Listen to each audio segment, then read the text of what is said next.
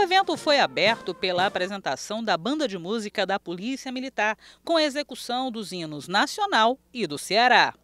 Logo em seguida, foi a vez do coral dos fazendários. Passarinhos, passaradas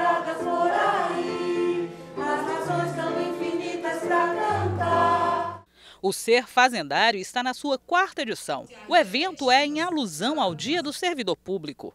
Durante a solenidade, a TV Ceará foi uma das instituições homenageadas e foi representada pela presidente Moema Soares. A TV Ceará exibe o programa Sua Nota Tem Valor.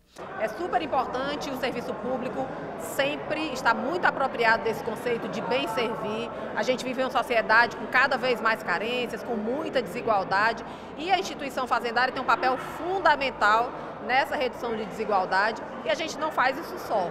Hoje também tivemos a oportunidade de agraciar diversas pessoas que colaboraram no cumprimento dessa missão, dentre elas a TV Ceará, que é super importante esse veículo aqui no nosso estado, e estamos muito felizes por este evento. A governadora em exercício destacou a relevância do trabalho dos fazendários. É um momento rico, um momento inclusive de aprendizado, porque teremos palestras também aqui hoje, neste momento, e aqui fica a nossa mensagem de que cada um realmente sinta orgulho de ser servidor público estadual.